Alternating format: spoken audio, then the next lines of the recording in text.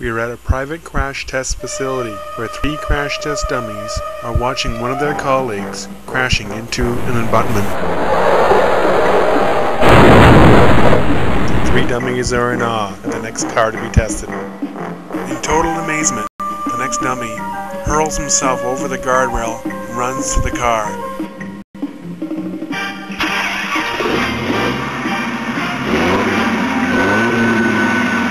Dummy doesn't have a heart to smash this one. He veers off to the right to a button.